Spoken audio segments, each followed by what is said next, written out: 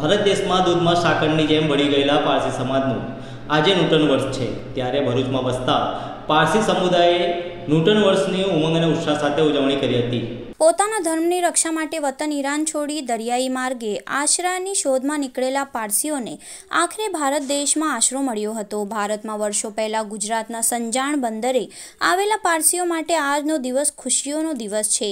ઈરાનથી સંજાણ બંદરે આવેલા પારસીઓએ પોતાને આશરો આપનાર સંજાણના જાદી રાણાને આપેલા વચન મુજબ પારસીઓ દૂધમાં સાકરની જેમ ભળી ગયા હતા.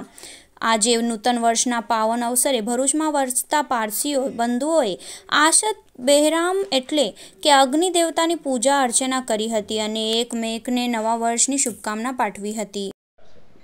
આજના નવરોઝના પવિત્ર દિવસે હું અને મારા પરિ, શેઠના પરિવાર, મારા ભરૂચવાસી તથા મારા ભારતવાસીઓને બહુ મોટો આભાર માનું છું કે ગઈકાલે પંદરમી ઓગસ્ટ સુધી જે ભારતનો પંચોતેરમો વર્ષ આઝાદીના પંચોતેર વર્ષ પૂરા થયા. પણ હું તમને કહેવા માગું છું કે અમે પારસી સમાજ આજે પંચોતેર વર્ષથી આઝાદ નથી થયા.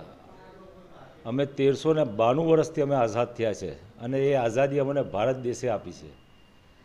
આ અમારો ઉપકાર અમે તમને કેવી રીતના ભૂલી શકીએ? અને આ બધું શક્ય બન્યું છે અમારા ભાઈબંધ હિન્દુ સમાજના લીધે. એના માટે જેટલો બી મારો પરિવાર થતાં, મારા પારસી સમાજ, જેટલા બી તમને સલામ મારે, પ્રણામ આપે, એટલો ઓછો છે. અને આજના દિવસે સૌને, આ દેશ તમારું છે. હવે તમે સાચો એને આજે પૂરેપૂરી આઝાદી મોદી સાહેબની જગા પર આવી ગઈ છે. હું પંચોતેર વર્ષની વાત નથી કરતો. હું તો સમજું છું કે ભાઈ પંચોતેર હજાર વર્ષ આ ભારત હિન્દુઓનું જ રહીને હિન્દુનું છે અને રહેશે અને રહેવું જોઈએ. જય હિન્દ જય ભારત માતા કી જય.